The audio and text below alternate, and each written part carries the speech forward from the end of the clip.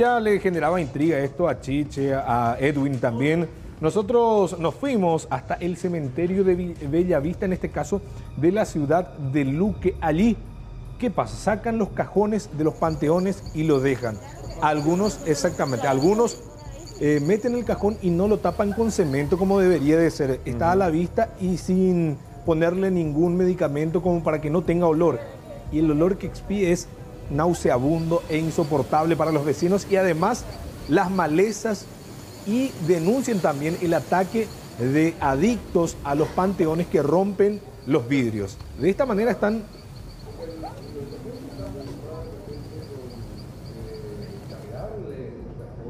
querido con algún objeto de valor. Y en busca de eso van estos, estos adictos, estos enfermos, en procura de conseguir un poco de plata, ¿verdad? de generar plata para seguir comprando su droga. Y se encuentra en total abandono. Veamos las imágenes. ¿Acompañar tu nombre? Eh, Reinaldo Castillo. Reinaldo, bueno, acompáñame para mostrar. Sí. Pasa nomás y vamos a ingresar ahora a este cementerio.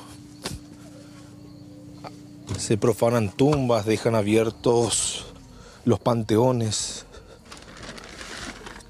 No tapan como se debe.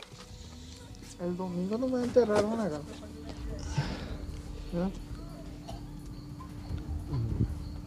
Se deja todo abandonado acá. Sí. ¿Y ustedes no pueden vivir de esta manera? No podemos. Fuertísimo. Escuchar a la criatura como... Y además hay acá adictos. Hay lleno de chespi.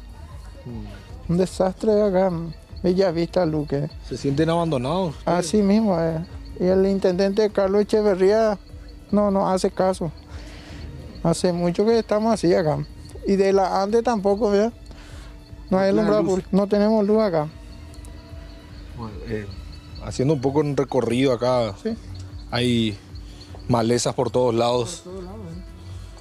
Recorriendo este cementerio de Villavista de la ciudad de Luque. En pleno abandono se encuentran, los árboles caídos. En el centro de Luque estamos. Y nunca vinieron a limpiar, gente. Y suele venir así cada tres meses, eso y no. Desesperante la situación. Está muy. Mira cómo tiene el cementerio sucio. Ellos hablan de dengue, que se muere la gente. Y cómo no vamos a ir de dengue si ni siquiera no nos hacen caso. Yo quiero saber si acá no se paga impuestos, que China es su problema de ellos. Ellos te dicen, sí, vamos a arreglar las calles y esto. Mira, si un poquito más que yo la bote va a estar lleno de basura. La gente viene a tirar basura como si fuera que nosotros somos basura y acá hay muchos, muchas criaturas. No se puede transitar. Mira lo que es el olor asqueroso. Acá uno te puede sentar. ¿Dónde vamos a ir a sentarnos? Y después ellos dicen que tenemos que limpiar nuestra casa. Y como si ni la basura nos recoge. Mira, hace siglos que está en esa basura ahí. Impresionante lo Ya, ya hicimos denuncia, ya hicimos todo ahí.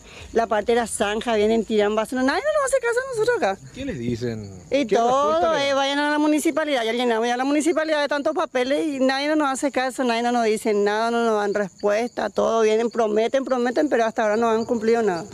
Terrible la situación por la cual están atravesando estos vecinos y ojalá las autoridades tomen cartas en el asunto y puedan dar una solución a estos vecinos que están clamando por ayuda. Un lugar donde debería de ser digno del descanso de las personas, vivir esta situación, observar estas imágenes es tremendo, una dejadez total, estamos hablando, Raúl, mira lo que es.